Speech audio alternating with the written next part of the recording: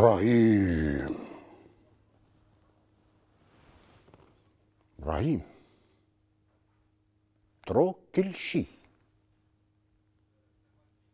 اترك أرضك. اترك أهلك. وامشي. شو هيدا؟ شو معناتها هالقصة؟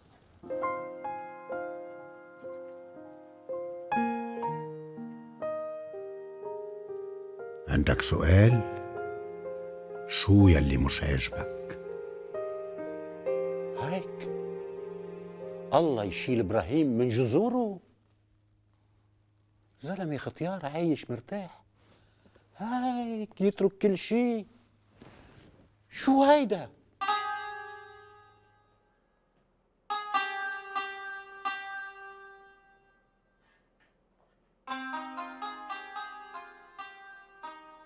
كان ضروري إبراهيم ينتقل على حياة جديدة غير يلي كان عايشها. ليش يعني؟ ليش؟ عم بيمتحنوا؟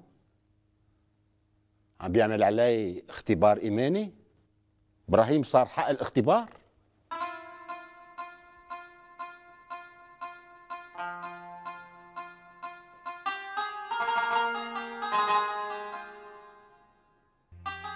كان ضروري إبراهيم يشوف المستقبل.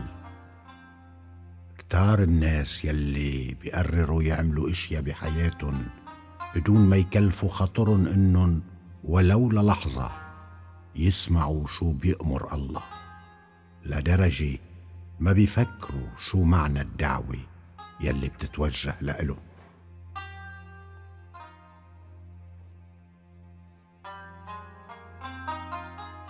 شو ضربتك على الوتر الحساس. ليك يا رفعت. أكيد يلي صار كان اختبار إيماني. ترك إبراهيم أرضه وسكن ببلد غريب. بلد ما بيعرف أصله من فصله. الله كان عارف إنه هالشي مش سهل على إبراهيم. مش سهل طبعا على رجال بعمره يسكن بأرض منه عارف شو ناطره فيها.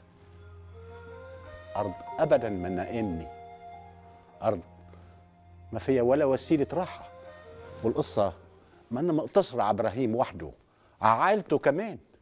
واحد مثله غني مرتاح مرتاح بأرضه. كيف ممكن يفكر إنه رح تزيد ثروته بأرض غريبة؟ كيف؟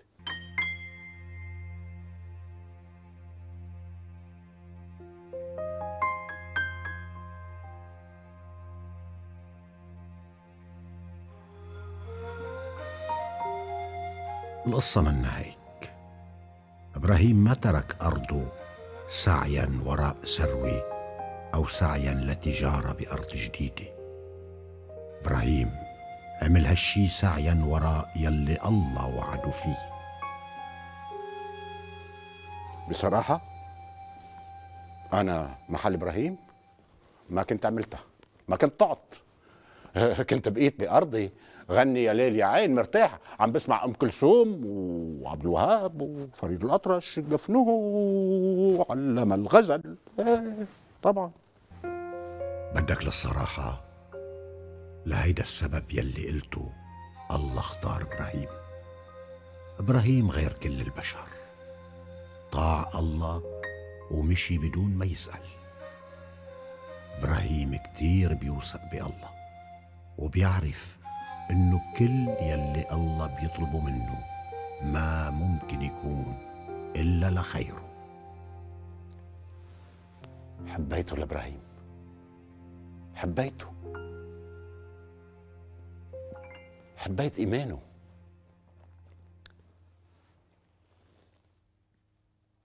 بعتقد إيمانه هو يلي مهد الطريق لخلاص شعوب الأرض.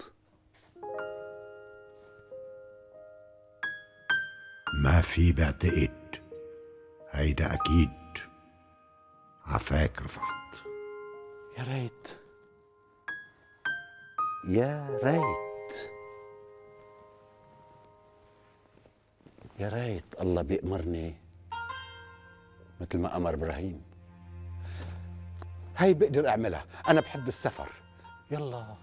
اتنقل من محل للتاني. معلوم تضيع